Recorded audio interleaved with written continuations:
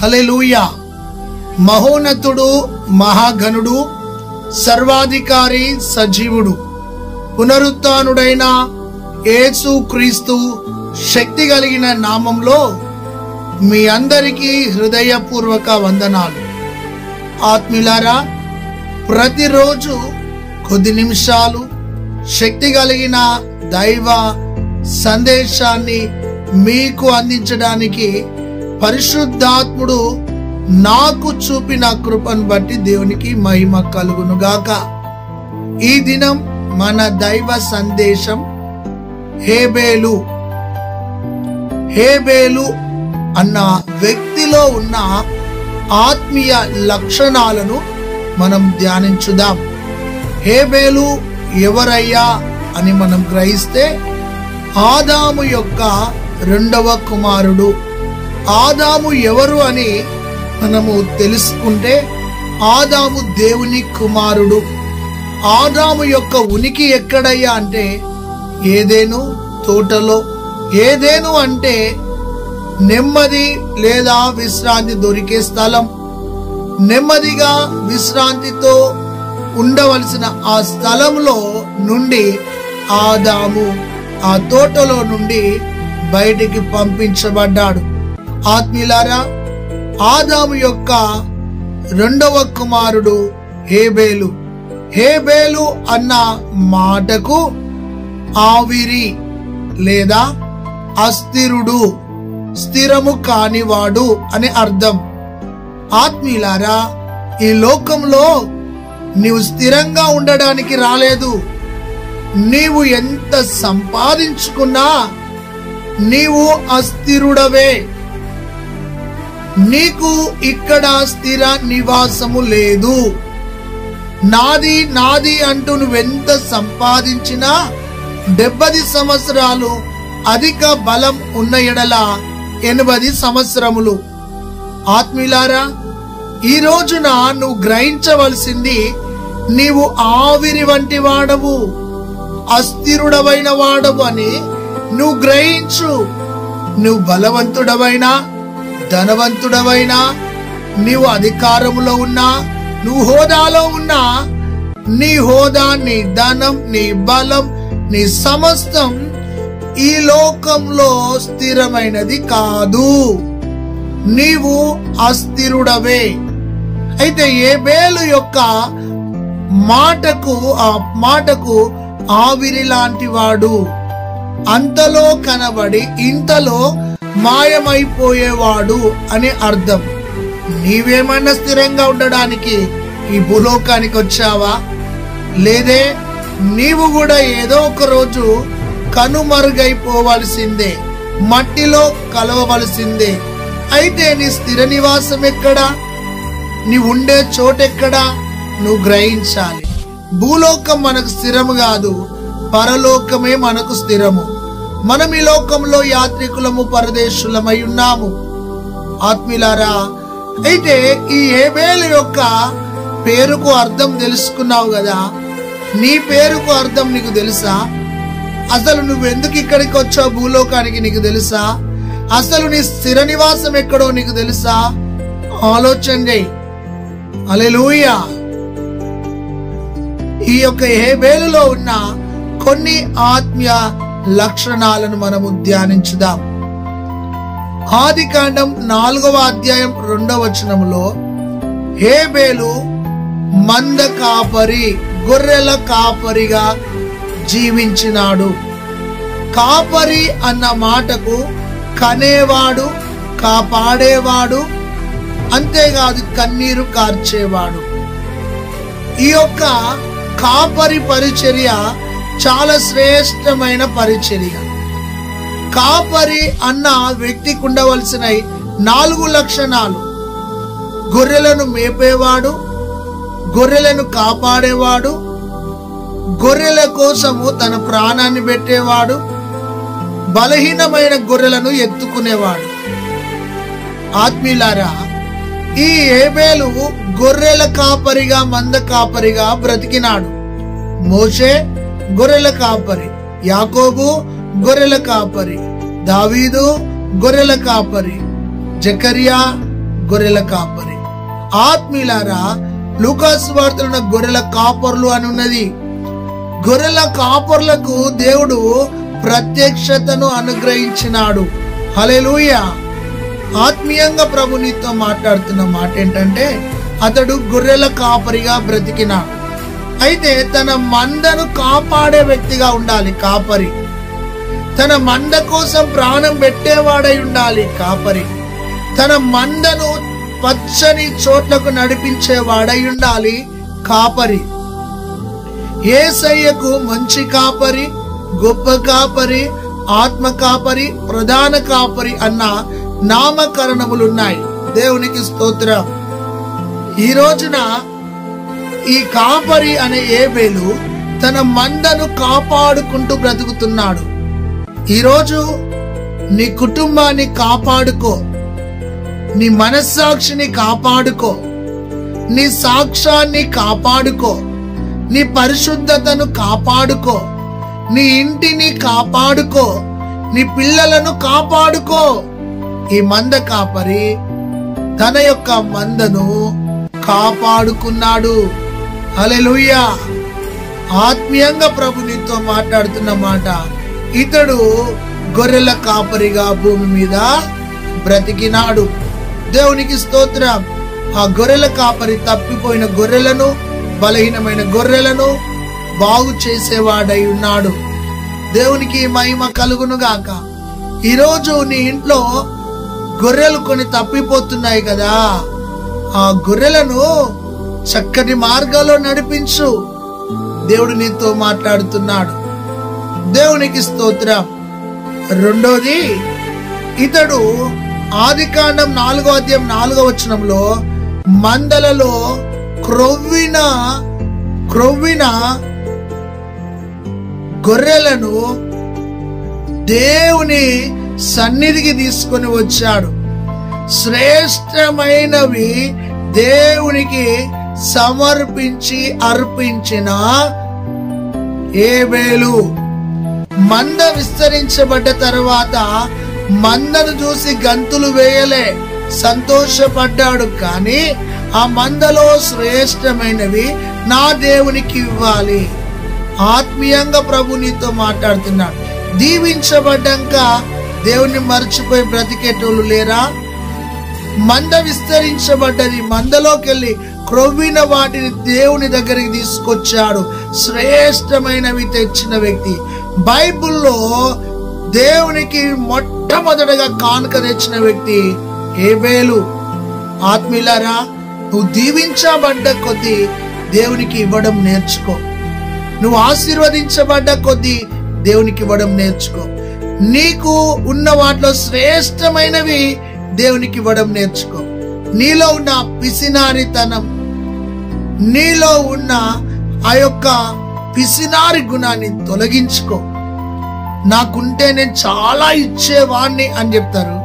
దేవుడు నీకు ధనం ఇచ్చినాక దేవునికి ఇవ్వడానికి ఆయాస పడతా ఉంటారు. గమనించు నువ్వు దేవునికి శ్రేష్టమైన ఇచ్చే వ్యక్తిగా ఉండు. సారేపతి విధ్వరాలు గురించి విన్నావు కదా? కరువులో సేవకునికి ఇచ్చింది. నావు. ఐదు రొట్టెలు రెండు చేపలు మూడు రోజులు ఉపవాసమున ఆ చిన్నవాడు దేవుని చేతిలో పెట్టినాడు. ఈ రోజున నువ్వు దీవించబడ్డావు ఆశీర్వదించబడ్డావు చక్కగా నీవు గృహాన్ని కట్టుకున్నావు ఉద్యోగాన్ని సంపాదించుకున్నావు చక్కగా నువ్వు ఉన్నతంగా ఆర్థికంగా దేవుడిని ఆశీర్వదించాడు. కానీ ఇప్పుడు దేవునికి ఇవ్వలేని ఒక దేవునికి ఇవ్వలేని ఒక భయంకరమైన స్థితి నీలో ఉంది. మార్చుకొని బుద్ధి మార్చుకోని గుణం మార్చుకొని మనస్తత్వం. నీతోనే దేవుడు మాట్లాడుతున్నాడు. శ్రేష్టమైనవి దేవుని సన్నిధికి తీసుకొని వచ్చిన ఏబేలు అలెలుయా అలెలుయా ఈ రోజున నీ ఆత్మీయ జీవితంలో కూడా ఇచ్చే వ్యక్తిగా ఉండు. దేవునికి స్తోత్రం. మూడవది ఆత్మీయులారా మతై స్వార్థ ఇరవై మూడవ అధ్యాయం ముప్పై ఐదవ వచనములో నీతిమంతుడైన హేబేలు. ఎవరు? నీతిమంతుడైన హేబేలు. తన తరము వారు పాడైపోతున్నప్పటికీ తన భక్తి తన విశ్వాసం తన యథార్థత తన పరిశుద్ధత కాపాడుకొని నీతిగా బ్రతికిన వ్యక్తి. ఎలా బ్రతికాడు? నీతిగా బ్రతకడం నేర్చుకోవాలి. సహోదరి సహోదరుడా నీతిగా అంటే ఏంటి? పాపాన్ని అవాయిడ్ చేయాలి. లోకాశలను చంపుకోవాలి. మనస్ నీ మనసులో నీ ఈ మనసులో దేవునికి ఇష్టం లేని వాటిని తీసి పారవేయాలి ఇంకా బురదలోనే ఉంటావా? పాపములోనే ఉంటావా? ఇంకా లోకాశలోనే ఉంటావా? ఈరోజు నీతోనే ప్రభు మాట్లాడుతున్నాడు. మూడోది నీతిమంతుడైన హేబేలు. ఎవరయ్యా భూమి నీతిమంతులంటే? యేసు క్రీస్తును నోటితో ఒప్పుకొని వారి పాపాలను ఒప్పుకొని యేసు రక్తాన్ని విశ్వసించి ఏసయ సన్నిధిలో ఏసే లోక రక్షకుడని విశ్వాసంతో దేవుని సన్నిధికి వచ్చి తమ పాపాలను రక్తంలో కడుక్కున్న వారు నీతిమంతులు. హలెలుయా మూడోది నీతిమంతుడైన హేబేలు. దేవునికి స్తోత్రం కలుగును గాక. అవినీతి గాని అక్రమము గాని అవిధేత గాని హేబేలులో లేదు. ఒకటి మందకాపరిగా బ్రతికినాడు. రెండోది శ్రేష్టమైన మందలలో నుండి దేవుని సన్ని తీసుకొచ్చి సమర్పించినాడు అర్పించినాడు. మూడోది నీతిమంతుడిగా బ్రతికినాడు భూమి మీద. అలెలుయా ఎక్కడిది అక్కడే పాడుకుంటూ బ్రతుకుతున్నావా? ఏ ఎండకు ఆ గొడుగు పట్టుకొని బ్రతుకుతున్నావా? ఆలోచన చేయి. ఒకవేళ నీ ఆత్మీయ జీవితంలో డబుల్ గేమ్ త్రిబుల్ గేమ్ ఆడుతూ నీ భక్తిని నీ విశ్వాసాన్ని తాకట్టు పెట్టుతూ నీ ఆత్మీయ జీవితంలో జారిపోతున్నావా? పరిశుద్ధంగా బ్రతకడం నేర్చుకో. నీతిమంతుడైన హేబేలు దేవునికి స్తోత్రం.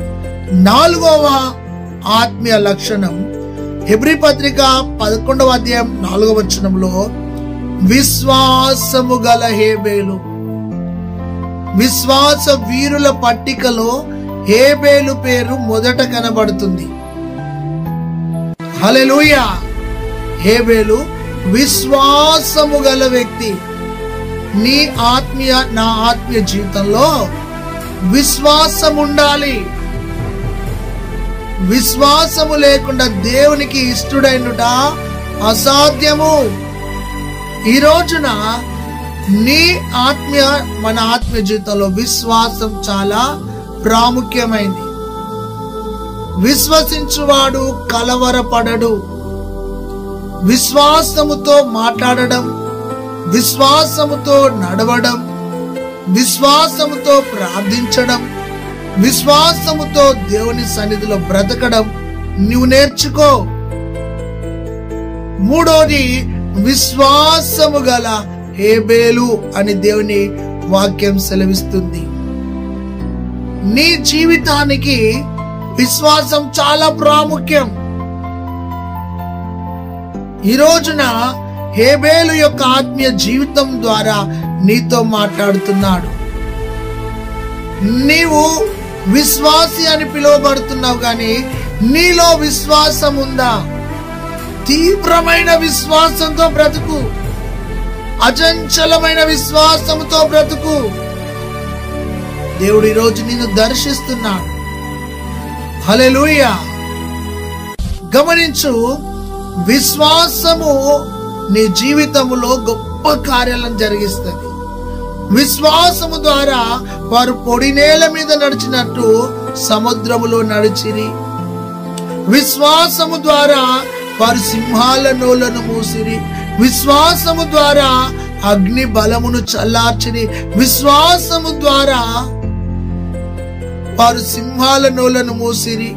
విశ్వాసము ద్వారా చనిపోయిన వారిని తిరిగి వారు బ్రతికించుకునిరి విశ్వాసము ద్వారా అబ్రాము తన కుమార్ని ఇచ్చి తిరిగి పొందెను. విశ్వాసము ద్వారా కరువులో ఇసాకు విత్తి బలాన్ని పొందుకున్నాడు.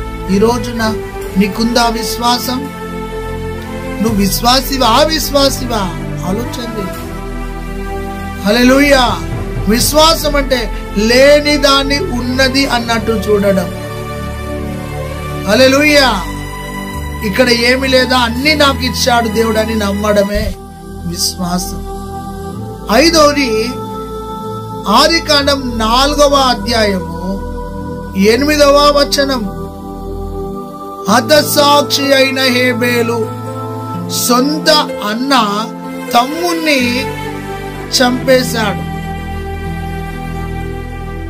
హతసాక్షిగా నిలిచిన హేబేలు ఆత్మీలారా ఎంతకాలం బ్రతికావన్నది లెక్క కాదు ఎలా బ్రతికావు అన్నది లెక్క. కాకి లెక్క కలకాలం బ్రతకడం కంటే హంస లెక్క ఆరు నెలలు బ్రతుకుట మేలు. నీవు ఎలా బ్రతుకుతున్నావు? షార్ట్ పీరియడ్లోనే ఉన్నాడు. త్వరగా ఇతడు చనిపోయాడు. ఒకటే అధ్యాయంలో కనబడ్డాడు. అత సాక్షి అయిపోయాడు. ఈరోజు ప్రభు నీతో మాట్లాడుతున్నాడు. నీవు బ్రతికినావు జీవించినావు ఏదో ఒక దినాన మరణించవలసిందే. నీ మరణము ప్రజలకు దీవనకరంగా ఉండాలి. అది కావాలి బిడ్డ. గమనించు అత సాక్షి అయిపోయాడు లోకయాత్ర ముగించుకున్నాడు. తక్కువ కాలం బ్రతికినాడు. కానీ దేవునికి ఇష్టానుసారంగా బ్రతికినాడు. అది కావాలి. ఒక ఆడ లాజర్ చూస్తే లాజర్ బ్రతికిండు ధనవంతుడు బ్రతికిండు. ఇద్దరు ఒకడు ప్యాలెస్లో ఉన్నాడు. ఒక వ్యక్తి గరీబోన్ లెక్క గేట్ దగ్గర మరి రోడ్డు ప్రక్క కూర్చున్నాడు. ఇద్దరు చనిపోయారు. ధనవంతుడు దరిద్రుడు. ఒక ధనవంతుడు వెళ్ళి అగ్నిగుండంలో దరిద్రుడు వెళ్ళి అబ్రహాముల్లో ఉన్నాడు. నీ జీవితంలో ఉందాతనంగా బ్రతకడం గొప్ప కాదు. ఆస్తి సంపాదించుకొని బ్రతకడం గొప్ప కాదు. దేవుని సన్నిధిలో దేవుని సన్నిధిలో యథార్థంగా బ్రతకడం గొప్పతనం. అత సాక్షి అయిపోయాడంట. హలెలుయ తరువాత బైబిల్లో స్టెపెను అత సాక్షి అయ్యాడు క్రొత్త నిబంధనలో. యోహాను అత సాక్షి అయిపోయాడు. ఈ రోజున నీ ఆత్మీయ జీవితంలో మన మరణము మన ప్రాంతానికి మన ప్రదేశానికి దీవనకరంగా ఉండాలి. ఆలోచన చేయి. ఒకటి గొర్రెల కాపరిగా బ్రతికినాడు మందను కాపాడుకున్నాడు. రెండోది మందలో శ్రేష్టమైన దేవునికి ఇచ్చాడు. మూడోది నీతి మంతునిగా బ్రతికినాడు తన తరములో పాపములు లేచేయకుండా నీతిగా బ్రతికినాడు.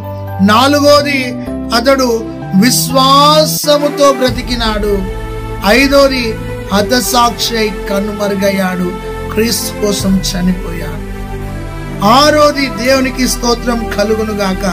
ఆత్మీలారా ఆదికాండం నాలుగవ అధ్యాయం పదవచనములో అతడు చనిపోయిన తర్వాత అతని రక్తము మొర్ర పెట్టెను అని ఉంది మొర్ర పెట్టెను ప్రార్థన ఆత్మ ప్రార్థన వైరాగ్యముతో ఈ యొక్క హేబేలు నింపబడ్డ వ్యక్తిగా ఉన్నాడు. చివరి సమ అంత అయిపోయింది. రక్తం భూమి మీద పడ్డది. ఆ రక్తము మొరపెట్టిందంటండి. నర్ర నర్రాలలో ప్రార్థన శక్తిని కలిగి కలిగిన వ్యక్తి హేబేలు. అర్థమైందా? ప్రార్థన చేయకుండా పడుకుంటున్నావు నిద్రముఖంతోనే లే ఉదయకాలం లేచి ప్రార్థించు. నీ ఆత్మీయ జీవితంలో ప్రార్థన ఉందా? నిన్నే అడిగేది. ప్రార్థన చేసుకుంటున్నావా? ఉపవాసం ఉంటున్నావా? కన్నీలు వారుస్తున్నావా మోకాలు పెంచున్నావా ఎందుకు నీ కుటుంబానికి ఇంత దరిద్రం? ఎందుకు నీకు ఈ రోగం? ఎందుకు నీ కుటుంబం శాపం ఉంది? ఎందుకు నీ కుటుంబం అంతా సమాధానం లేకుంటుంది. ప్రార్థన లేదు నీ జీవితంలో. మొకరించు. ప్రార్థన చేయని జీవితంతో బ్రతుకుతున్నావు.